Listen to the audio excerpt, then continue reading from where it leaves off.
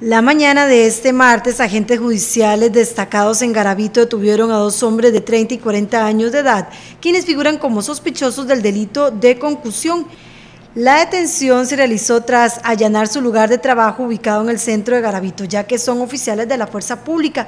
Los hechos con los que se les vincula ocurrieron a finales de febrero anterior, cuando los oficiales habrían interceptado a una cuadrilla de trabajadores que venían de Pérez Celedón y se detuvieron en un mirador. Entre el grupo viajaban cuatro nicaragüenses al mando de un jefe, al que le indicaron que lo podrían detener por trata de personas, entre otras cosas. Trascendió que ante el ambiente de terror que al parecer tenían los trabajadores, decidieron entregar 500 mil colones, pues les habían pagado recientemente a cambio de que lo dejaran ir. En la investigación se logró establecer la participación de los sospechosos, quienes fueron pasados con un informe al Ministerio Público para determinar su situación jurídica. El día de hoy, la Subdelegación Regional del OIJ de Garavito procedió a la detención de dos oficiales de la Policía Administrativa,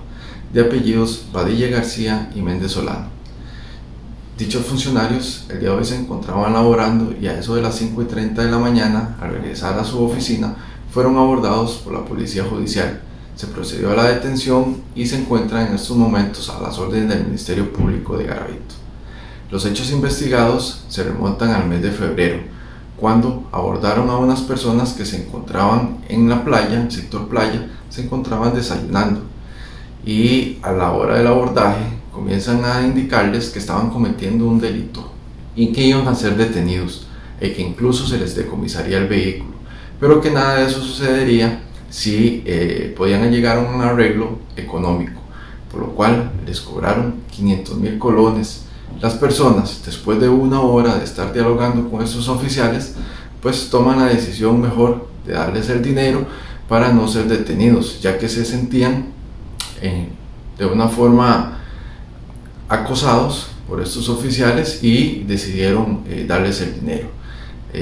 La parte ofendida presenta la denuncia, la denuncia en esta delegación y se procede a la investigación respectiva, llegando el día de hoy ya a darse eh, la detención de los sujetos y puestos a las órdenes del Ministerio Público. Se insta a la ciudadanía por si alguien ha sido víctima de una situación similar, lo haga de conocimiento de las autoridades. Por parte de esta Policía Judicial,